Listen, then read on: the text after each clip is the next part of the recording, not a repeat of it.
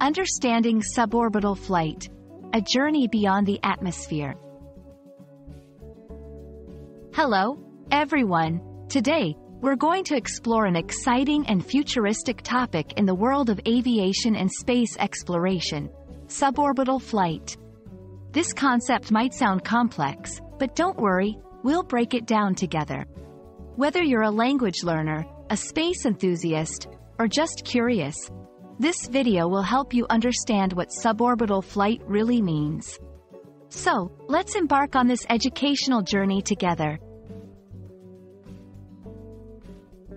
Suborbital flight refers to a flight that goes beyond the Earth's atmosphere but doesn't have enough speed to stay in orbit around the Earth. To understand this, let's compare it with orbital flight.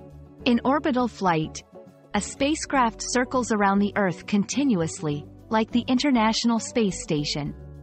However, in a suborbital flight, the spacecraft reaches space, goes beyond the atmosphere, and then comes back down. It's like throwing a ball upwards, where it goes up, reaches a peak, and then falls back down. There are several important aspects of suborbital flight. 1. Altitude the spacecraft reaches the edge of space, typically above 100 kilometers, the Kármán line, where space officially begins. 2. Trajectory. The flight path is a suborbital arc, not a full orbit around the Earth. 3. Duration. These flights are relatively short, lasting only a few minutes in space. 4. Experience. Passengers experience a few minutes of weightlessness and see the curvature of the Earth. Suborbital flights have multiple purposes. Space tourism, offering a space experience to private individuals. Research, conducting scientific experiments in a microgravity environment. Testing, developing and testing space technology.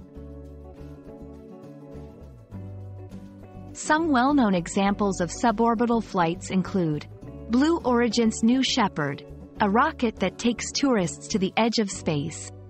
Virgin Galactic's Spaceship Two, a spacecraft designed for commercial space tourism.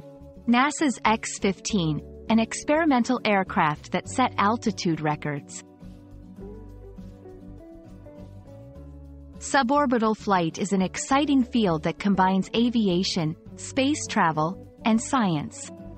It's a stepping stone towards more advanced space exploration and a unique experience for those dreaming of seeing the Earth from above. We hope this video has been informative and sparked your interest in the wonders of space travel. Keep exploring, and see you in the next video.